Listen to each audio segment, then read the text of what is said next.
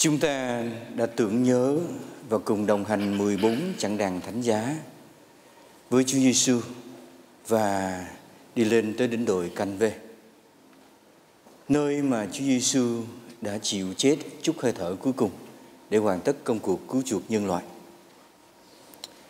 Thì chúng ta chứng kiến từng chặng, đó là những chặng đơn giản ghi lại thì chúng ta thấy được cái sự đau khổ mà Chúa Giêsu đã chịu như thế nào.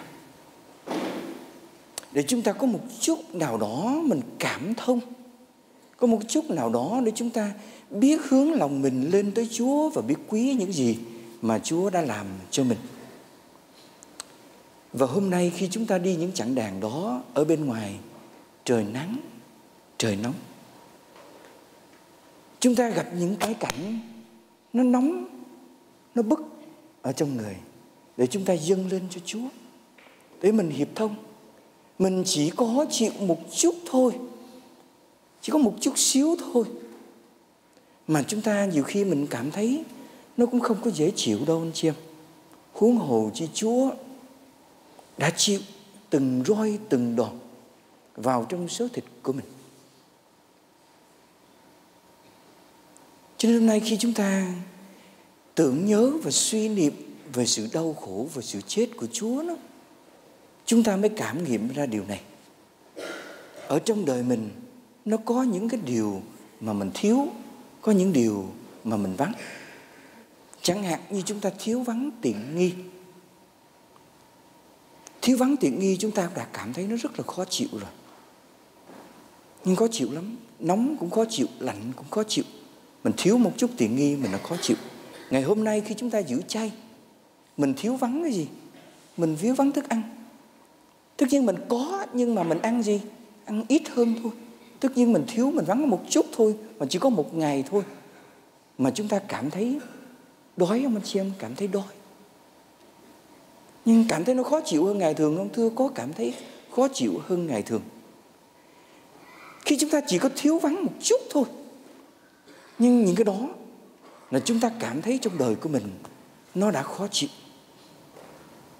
Vậy thì chúng ta tưởng tượng xem ở trong dòng đời này Khi mình thiếu Chúa Anh chị em có thử tưởng tượng đi trong cuộc sống của mình mà chúng ta thiếu vắng Chúa ở trong cuộc sống, trong tâm hồn của mình. Trên đỉnh đồi Can Vê ngày xưa, khi mà Chúa Giêsu trút hơi thở, có nghĩa lúc đó Chúa không còn ở đó với họ. Thế gian này đã thiếu Chúa rồi, đã vắng Chúa rồi.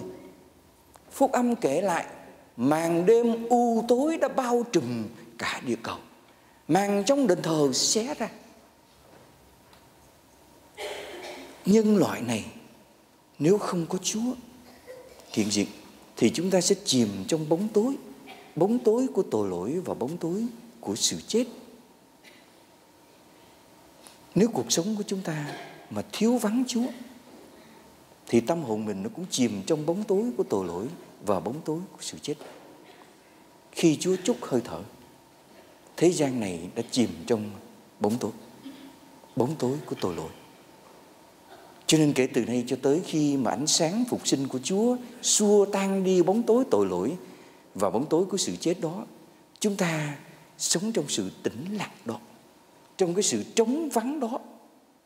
Bởi vì Chúa không còn ở với chúng ta nữa. Chính nhân loại này đã giết Chúa rồi. Đã từ trừ khử Chúa rồi. Chính mình đã đẩy chính bản thân mình vào trong bóng tối của tội lỗi và sự chết. Chúng ta chỉ có thiếu vắng một chút trong cuộc sống của mình là chúng ta cảm thấy đã khó chịu. Thưa anh chị em, cái thiếu vắng kinh khủng nhất của đời người là thiếu vắng Thiên Chúa. Thiếu vắng Thiên Chúa. Có thể mà chúng ta vô tình, cũng có thể chúng ta hữu ý. Có thể nhiều lần, cũng có thể ít lần chúng ta đã đẩy Chúa ra ngoài cuộc sống của mình. Và cuộc sống của chúng ta hoàn toàn thiếu vắng Thiên Chúa. Chúa Giêsu không có mặt ở trong cuộc sống của mình. Nhưng lúc đó là những lúc chúng ta đang chìm trong bóng tối của tội lỗi và sự chết. chiều hôm nay, chúng ta đã chứng kiến sự chết của Chúa Giêsu. Chúng ta sẽ nhắc lại cho bản thân của mình nhớ về cái sự chết của mình. Chết trong linh hồn của mình và chết về thể xác. Cái chết đó chúng ta tránh không khỏi đâu. Nhưng mà mình chết có Chúa hay là mình chết trong sự thiếu vắng Thiên Chúa này. Khi chúng ta chết có Chúa, chúng ta chết trong sự bình an. Chúng ta chết trong ơn cứu độ. Như Thánh Phaolô đã dạy chúng ta, khi chúng ta cùng được chết với Chúa Giêsu thì chúng ta sẽ cùng được sống lại với người. Còn khi chúng ta chết trong sự thiếu vắng Thiên Chúa đó, đó là cái chết bất hạnh. Đó là cái chết trong sự tội lỗi. Chiều hôm nay là một cái buổi chiều tang thương nhất trong lịch sử của nhân loại. Bởi vì chính nhân loại đã giết Chúa. Chính nhân loại đã trừ khử Chúa ra khỏi cuộc sống này. Màn đêm u tối đã bao trùm.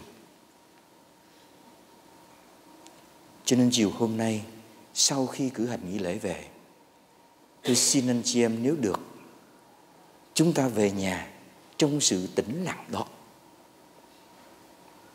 để chúng ta suy nghĩ, chiêm niệm về sự chết của Chúa và sự chết của mình. Đừng bao giờ nghĩ rằng sự chết đó nó chưa đến hay là nó còn xa. Không có ai ngờ được đâu. Đừng tưởng mình còn trẻ các bạn. Các bạn không biết được là mình còn bao nhiêu giây, bao nhiêu phút nữa đâu. Chuẩn bị sẵn đi.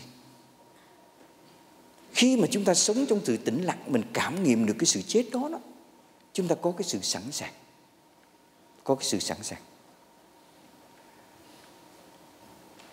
Chiều hôm nay Nếu như không phải là những cú điện thoại Emergency Khẩn cấp Đừng nói phone nữa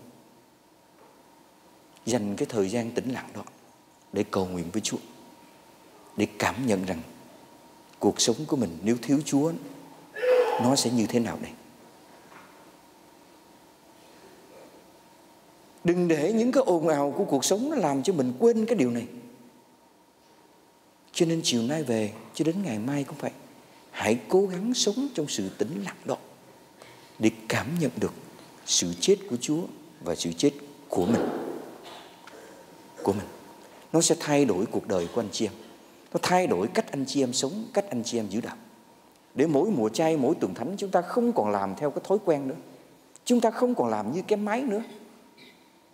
Mà từ nay cuộc đời của mình nó thay đổi. Một bước đi mới, một hướng đi mới. Mình là con người mới. Để khi Chúa Nhật phục sinh mình được sống lại với Chúa Giêsu Kitô, mình là một con người mới rồi. Chúa ơi con không phải là cái máy. Con bước theo Chúa bằng con tim. Bằng cái tình yêu đó con chia sẻ cùng đồng hành, cùng thông cảm, cùng hiệp thông với Chúa.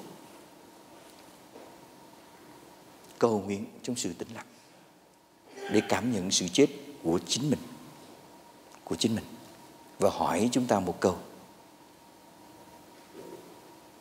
Khi mình chết, mình có chết với Chúa không hay là mình chết trong sự thiếu vắng Thiên Chúa?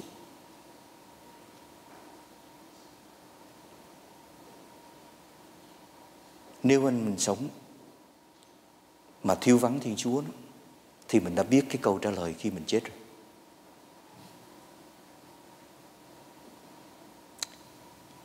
Ai cũng phải chết. Nhưng mà mình chết có Chúa hay là mình chết thiếu vắng Thiên Chúa này? Tìm câu trả lời ngay bây giờ trong cuộc sống của mình. Bởi vì nếu mình sống bây giờ đang thiếu vắng Thiên Chúa, đang sống xa Chúa tới như vậy, mình tới với Chúa nó chỉ là một cái hình thức thì đoán thử khi mình chết như thế nào đây? Cảm nhận cái sự tĩnh lặng đó đi.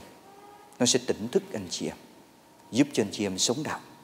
Mỗi người chúng ta sống đạo một ngày sốt sắng hơn chúng ta biết quý từng giây từng phút và biết quý Chúa trong cuộc sống của mình.